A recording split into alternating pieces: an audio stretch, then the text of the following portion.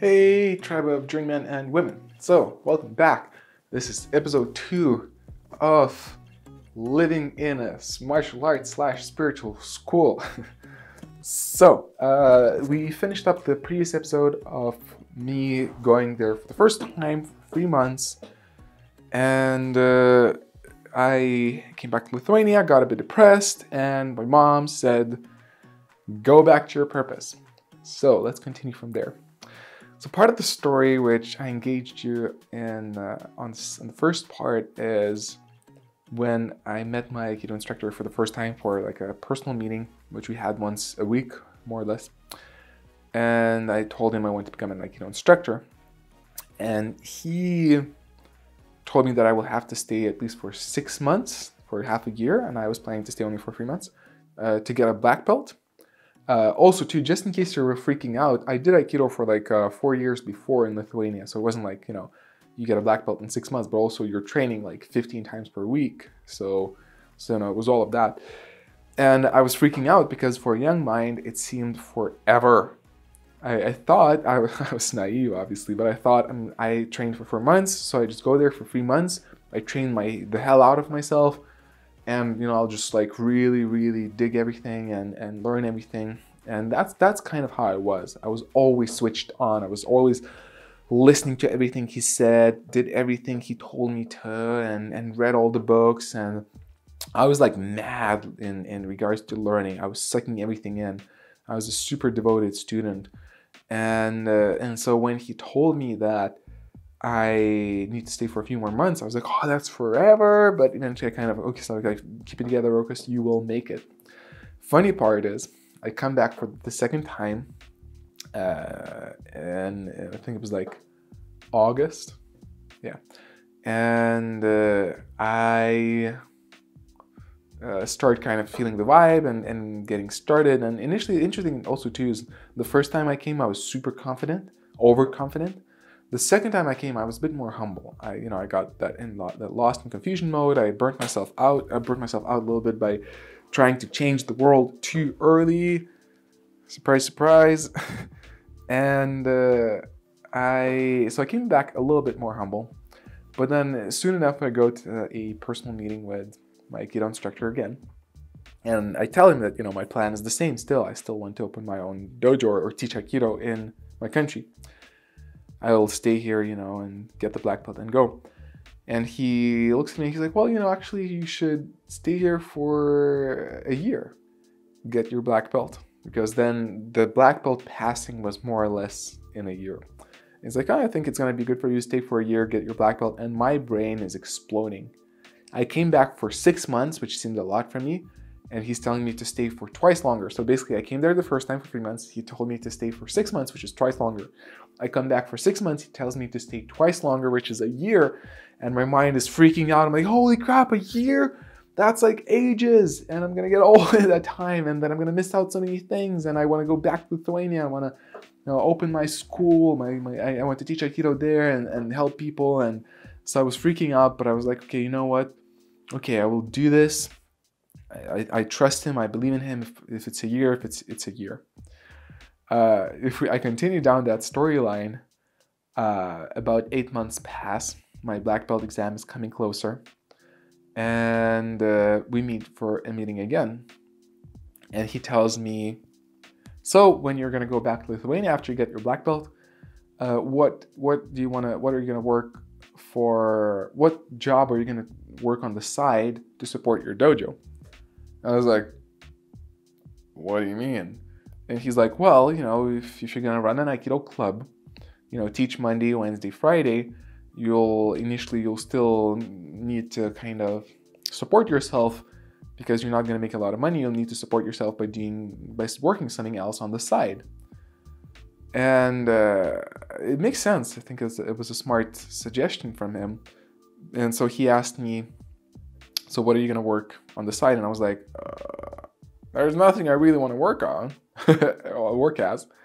And he started giving me options. He's like, well, maybe you want to be a waiter at least, or, you know, anything else. Like, what inspires you? And I kept thinking and thinking. I was like, nothing inspires me. I'm like, I want to be a full on professional, like, you know, instructor. There's nothing else I want to do. I'm full in on this. I don't want to do anything else on the side. And he listened to me and he's like, well, okay, well, I can I can dig that. And he's and he tells me, so that means probably then that means you should stay another year. Then you will get your second degree black belt. Um, you will and and then he told me then then you should maybe also consider becoming a yoga instructor because if you run a full school you know that kind of differentiates the classes and you have different people in different classes so it's going to be easier to support yourself again in that way and and maybe you should also by the end of it go to India for a month or two to kind of settle in and get more life experience before you start and i think it's a great again it was a great advice great suggestion. But again, looking back, my mind is freaking out, you know, because I'm like, crap, that's again double. That's again double from what I was planning to do, and it's one more year, that's forever. And then I stopped. I caught myself doing that. And I actually remember that moment very vividly, which is which is pretty pretty interesting. And I caught myself, I was like, I've been here before. I've been here before. This is not the way to go and and I, I caught myself and I said, you know what, Rokas, let's do this. Don't think about when you will leave. Just focus on being there. Become so good, you know, like like learn everything possible. Become so good that people would look at you and they would say, you don't have anything else to gain here from Rokas. You know, like you're you're t- you know you're too good for us. It's like you learned everything. Just go. You know, we had enough of you. And I, th- I thought I will I will dedicate myself to such degree that that that would happen that I wouldn't have to ask, can I leave already, open my dojo? That they would kind of kick me out and say, we had enough of you, you're ready to open your dojo. It's interesting, like again, following the storyline, that that's actually what happened. Uh, a year passed from that day, and I passed my second degree black belt exam, and everyone was really impressed. Uh, now that I look back at it, I'm like, oh, I could have done better, but but there's some moments where I did I did apparently they did a really good job. And everyone in the community where they were like, whoa, was one of the best examples I ever saw, and, and so on and so on. And everyone was like super, super impressed. And uh, and I was doing a lot of work. Like I was, that's all I was living and breathing off, and, and reading all the books and training extra. You know, with 15 classes per week, I was still doing extra training. And uh, again, a moment I remember very vividly is uh, the year was coming to an end, like the physical year, calendar year, and we were chilling during the Christmas vacation. The dojo was closed, and we were making our schedule for the next year. And uh, my Aikido instructor told me, said, "Well, you know what? I think uh, Rokas, you're, yeah, you should uh, that this and that date should would be good for you to leave and open your dojo." I'm like, I'm freaking out. I'm like, I didn't see that coming. It was really weird. I was so pumped all that time before to to go out there and open my dojo. I could I was so looking for it. I couldn't I couldn't wait for it. And then I settled in to just kind of becoming a great student, being a great student. And the, when the day came, and I didn't see it coming, and he told me, you know, we should schedule when you, you're gonna leave uh, the dojo to open your thing. And I was like, holy crap, is this real? is this really happening? Are we really having that conversation? And I was freaking out. I was like, am I ready to leave? I'm, I started almost feeling anxious. And, uh, and I, I, I, again, I was surprised because in the past I just wanted to, I was looking for for that day so much to be told, go out there and open your dojo. And when I was, when that day came, I, I, I was confused. I was almost uh, scared. But then I settled into it and I was like, you know what? Okay, that means I'm ready.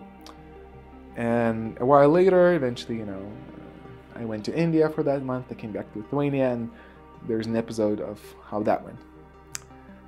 But so it's, it's a very interesting kind of storyline of that whole process. But there's a lot of things that happened meanwhile. so let's come back to that. Uh, so uh, one of the things I mentioned was me going to personal meetings with my Aikido instructor and uh, they were kind of like coaching, spiritual coaching, I guess. And uh, it was very specific, and, and, it was actually really intense too. It's something I do look back and I appreciate that. I think it wasn't always done in the best way, but, but I kind of appreciate that that hard school, psychological school. Uh, it helped me grow a lot, but it's it's it's it's an interesting method now that I look back.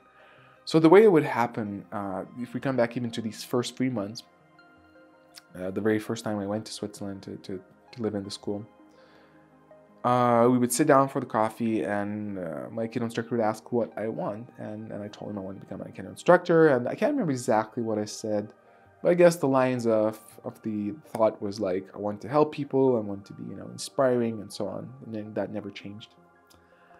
And uh, he then would ask certain questions and give certain feedback. But most of the times when we would meet, he would be very specific in pointing out the differences between what you said and what you do or you, what you did. And it's kind of again an interesting methodology. Basically, the way it went. Uh, so let's say I wanted to, I would say to him, I want to be more honest. And because we spend all so much time together, he would catch those moments when I wouldn't be honest per se.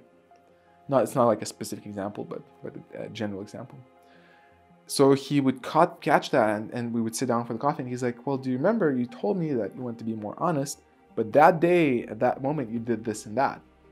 And i was like holy crap. Or whenever I, I would have like a naive thought something he wouldn't agree about and sometimes uh, to a correct degree like i had kind of a faulty idea. He would break that down and he would point it out and he would show you your flaws really well He's like, look, you're doing this wrong. You know, this part of you is you're saying this and you're saying and you're doing that. And uh, he would prove that some of the thoughts that you have or ideas are false through kind of rational, logical breaking down, or just kind of not always. Sometimes it was you know his own perspective, but but still it was an interesting process because it it always challenged. And I know it wasn't just for me all of the, especially the long termers, uh, Uchideshis who lived with in, in, in his school, we would all come back from those meetings half broken because he would push us to the to the kind of furthest points of pointing out you your flaws and making you admit that you're wrong in some places. I think you know it wasn't like egocentric from him. It was it was it was really he was really trying to kind of you know in that specific way to to help you out, improve, so the way I would describe it, he would kind of break you down where you would realize, oh my God, I was wrong. You know, oh my God, I, I screwed up. I, I, I didn't do what I said I wanted to do. And uh, usually by the end of the meeting, there would be like a sense of panic or a sense of complete confusion and lot. You're like, oh, I, I, I thought I knew. You come into that meeting feeling like I know my stuff, I know my shit and then at the end of the meeting you're like i don't know anything. And you come back you're lost and confused. And again i know that most of us experience that's the same. And for a couple of days you're completely you know confused and you're thinking so what's right? What's wrong? Where am i failing? and so on. And then slowly you start to kind of build yourself up again and you're reconstructing yourself. And you're like well actually no you know he's right here and i could improve here. And you know what? Actually i think this is true and by the end of the week, you would kind of feel like you're back on, on your feet and you meet again, and the same exact thing happens. At some of those meetings, I almost cried. You know, I'm not, I'm not, not a big crier. I don't cry often. But at some of those meetings, I all it was like I was that close to crying. He pushed me to the furthest points. Interesting thing too is I told him to as well. That was his methodology, but also early enough when we met, I told him, you know what? I want to learn as fast as I can. I want to, to learn as much as I can. You hit me with everything. Don't spare me. Don't hold back on me. If there's some feedback you have for me, give it. You know, just like go full on. Don't don't don't hesitate on on telling me about stuff because you think, you know, I won't take it. I'm like, I'm gonna take it all. And sometimes he would push me where I was like breaking down, almost crying. And he's like, Remember, August, you asked for you asked for this. I was like, yeah. uh, if you follow that storyline specifically, uh, that that was very evident the first year I lived there, the first in the first year of our relationship. Uh, by the beginning of and mid of middle of second month, uh, second year, sorry, um, that started to change. I started. It was harder. It, it became more and more difficult for him to catch my flaws, not because I was hiding them, not at all actually, but just because you know I started to see what he's talking about, and I would I would be able to, you know, I would slip less and less in telling that I want to do something and not acting on it. My words and my actions became more and more con- consistent. And uh, and also too, I mean, again, I, I mentioned to you, I really want to, you know, present the positive side here, but I'll just slightly mention this part. You know, also too, I think it's important to to kind of recognize that maybe also because I, I understood his perspective and I was able to relate with it. And I did it in a sincere way, but you know, I was able to know what he's expecting, to know what he believes in, and those became my beliefs as well. And so we clicked more. You know, I didn't challenge him, I didn't question him. And maybe, you know, that's when I when I was saying that whatever he's saying is true because I believed it, he didn't challenge me so much. In the past, if I'd be like, well, what about this? You know, and he would prove me wrong in some way, then you know I would be in a crisis. So again, it's kind of a consideration. But then by the end of coming back to the story, by the end of second year uh, or second year, mid second year, I was like, I was barely challenged anymore. You know, we were on the same page. I was really, you know, playing my game at the top level, and those challenges didn't come across anymore. So eventually that changed, but the first year, it was really intense. It was really tough, especially for me being, you know, an 18, 19 year old guy thinking I know everything and being proved I don't know nothing. But but those deconstructions and reconstructions, I feel that they empowered me in a way where I feel like, you know, that that made me more made me more mature and ready to to face big challenges and and to know what I believe in and to know what I'm about. There's also the dark side, which I spoke about other videos. Know, not that it was all perfect, but as I promised, I will focus on the good side here. Uh, looking at the whole experience one more time, just reflecting about the whole thing, uh, one more challenge was, which I didn't see coming, was living in a community, living in a close uh, community. Like we were spending a lot of time together. The Uchideshis uh, we barely had any personal space. We cooked for each other as well, and we were also all in that intense process where we were questioned all the time, and and we were questioning our beliefs, and um, we were pushed to our edge, and so that kind of came across because we were pushed to the edge. We kind of ended up pushing each other to the edge. And this is a slight moment I'll mention, I, which is my personal belief. Uh, I mentioned in some other videos that I feel my my Aikido instructor was using fear and kind of judgment to to keep us in line, and we did that to each other, which I think was the worst part. You know, we were really judgmental of each other, not like on all levels, like oh you're you're you know you suck at this, but but especially in terms of like household things. You know, if somebody would fuck up some uh, chore that they had to do, and we that was part of our deal. We were cleaning the dojo and cooking for each other, and etc. etc. So if somebody fucked up something, we were all like really heavy on it. I think I was the lightest. I, I didn't like that already, but still, I, I was part of the game. So we were all kind of punishing each other for our mistakes. And so it was like really, sometimes it was better, sometimes it was worse. But uh, eventually, actually, I became the senior student. I, I, I was the I was the senior uh, Uchideshi, so I was kind of setting up the vibe. And I think when I was the most senior one, I was setting up the vibe. I made it lighter and more friendly and so on. But beforehand, there was another person who was the senior Uchideshi, and that person was very critical, quite judgmental, and uh, and that was kind of the vibe that was set up. So it was even worse. So that was a lot. That was very intense. Like like constantly knowing that you're under the radar, you're under the magnifying glass. As soon as you're gonna fuck up, everyone's gonna tell you that. It was stressful.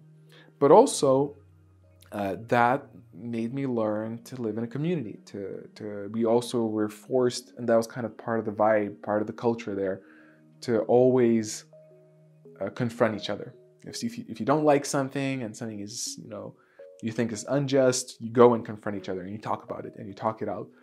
And I don't think that that's the best way to go, but but that was the the hardcore school for me because I learned to deal with conflict all the time. We were like so there were so many conflicts, so many times we had to talk to each other and and face each other that by the end when I came back to Lithuania and I was so used to that, I appreciated that part because I went through hell uh, when my students would challenge me or or we would have some discussion or there was some con- conflict that I needed to address and confront, I had no problem. Till this day, I'm, I'm not that afraid to come in to if somebody wants to talk about with me about something heavy, I'm like, let's do this, man. I've done this so many times. I don't feel uncomfortable.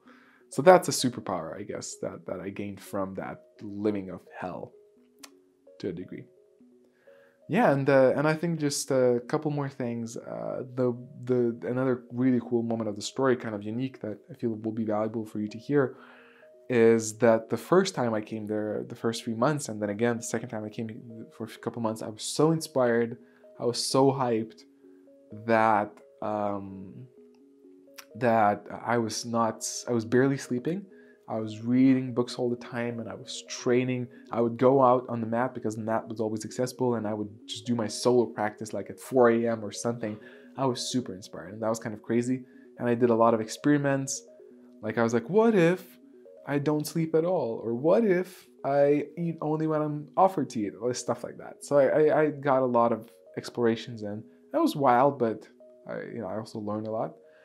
But another interesting part of the story is that after those three months of spending there, the time initially when I came back to Lithuania, actually I lost most of my friends, which is interesting now to look back, because I was so changed, you know, I, I and I felt like I was I did change, but also I felt I feel like I felt that I changed. I believed in that change so much, and I was so hyped about what was being taught there that my friends have a difficult time to connect with me anymore. They're like, who's this guy? They loved me as, as joke as before, but I came back, you know, with all these new ideas and inspirations, and some of my friends stayed, but some of them were like, well, okay, he's too weird for us.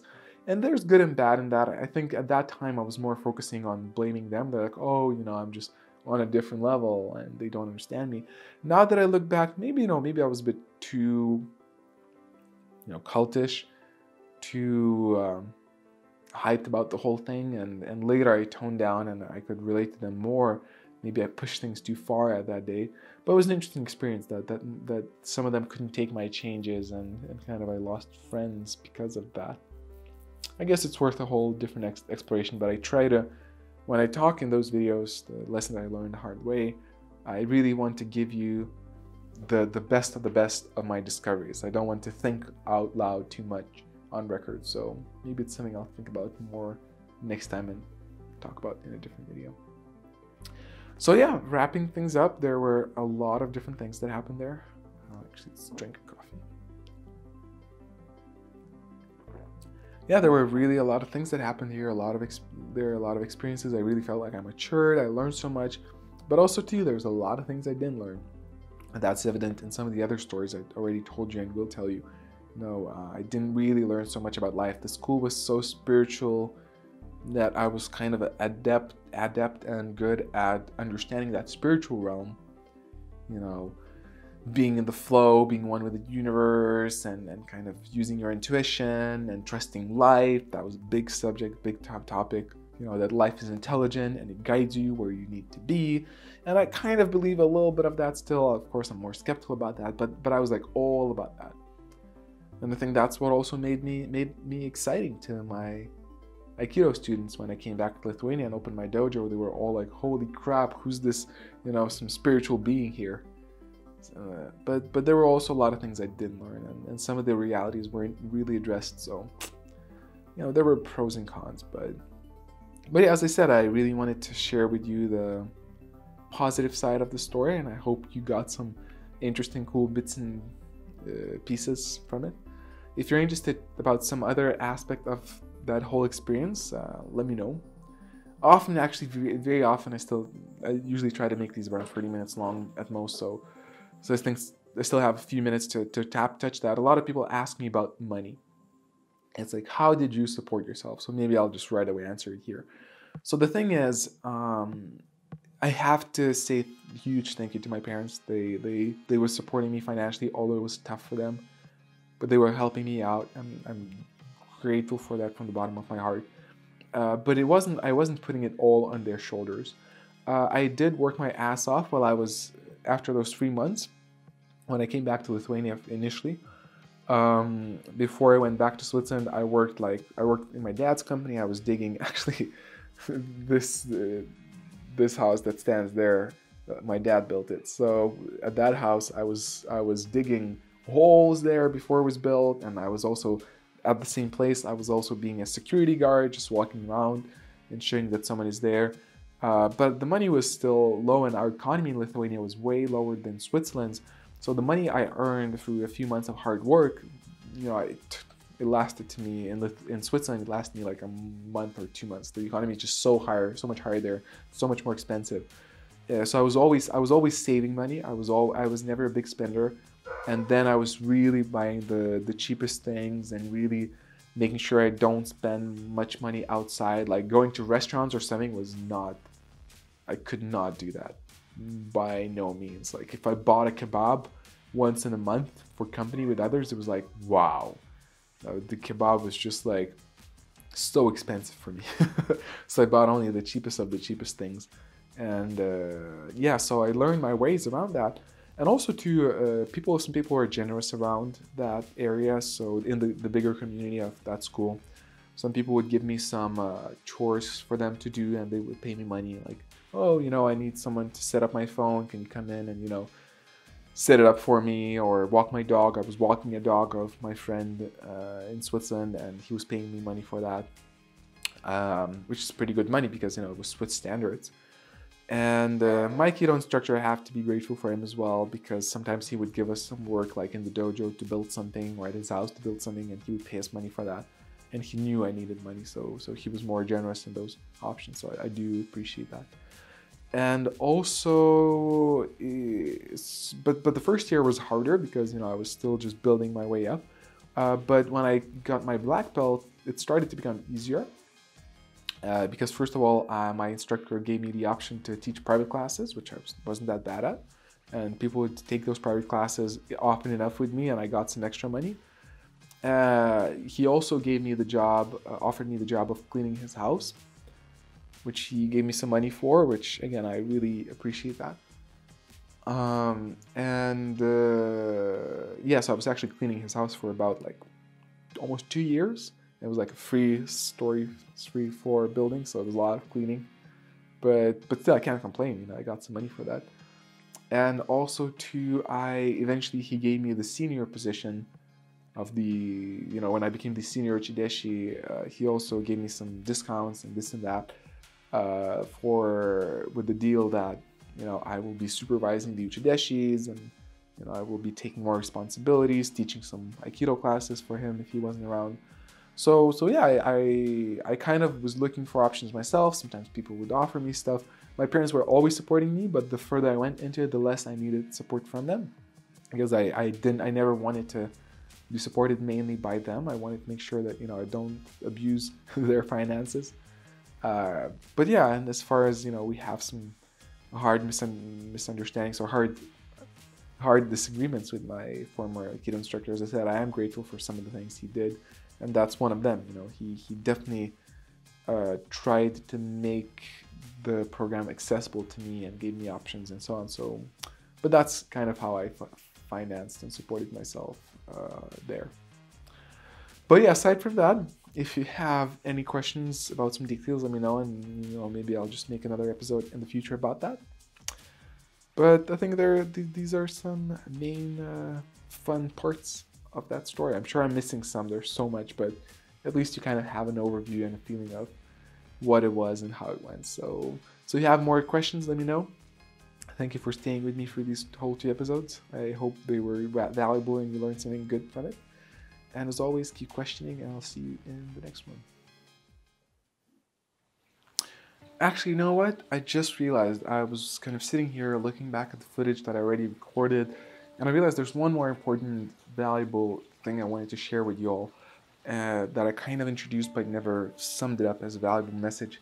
Uh, I guess I spoke about that a little bit in uh, one of the previous episodes of opening my own Aikido dojo, and I slightly pointed to that but I feel that story and that particular part, you know, where I was completely devoted, I was, I was like uh, like madly um, always learning and picking everything up and being more attentive, asking more questions and training more than anyone else. I think that was part of the reason I was able to open my successful school, my own school. And obviously, you know, there were there were other elements, my passion, my enthusiasm, and so on. But but that also gave me confidence because it's something I keep reminding myself. And in general, you know, people talk about the importance of niche expertise. I agree; they're super important and they were super important, especially back then to me as a young person trying to establish myself in this world and provide value. Uh, but the fact that I was so madly devoted to learning, I was reading more than anyone else. I was, uh, you know, doing all those extra training and putting all that extra attention and effort.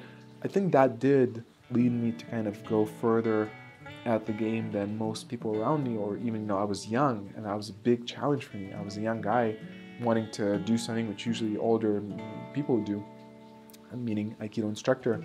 And I knew that I need to come, somehow step up the game to balance out the scales.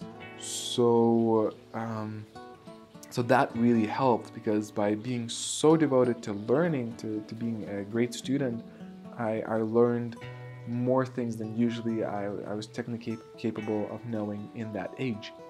Uh, and that's kind of something I wanted to reflect with you quickly about is I feel it's an important lesson, especially I guess with millenniums these days. And it's something I bumped into uh, while I was running my own dojo. I had some volunteers, millennium, you know, that, that age, uh, guys who, or and, and girls who were in crisis. And I realized the articles that I read, they were true. Uh, the article said, I, I through direct conversations with them, I learned that whatever the article said turned out to be true, especially in those cases, and I'm sure there's more, is because those guys that I met and ladies, they were born into having all of these things already, you know, laptops, internet, and so on, and, and they're surrounded by the stardom of YouTube and Instagram, and they come to a conclusion that kind of, you know, they're special already just because they're born, which is, you know, not really the way the world works. But they have that idea that you know as soon as they'll go out in the world they're going to create something amazing. But the thing is until you put in the grind until you put in the work until you dig deeper than anyone else it will be difficult for you to create anything exceptional anything valuable. And so i'm very happy i did that myself and that's something i would recommend to anyone who wants to open their dojo who wants to create something amazing is first you need to do a lot of grinding you need to do a lot of work. You need to choose a direction and go wild in it.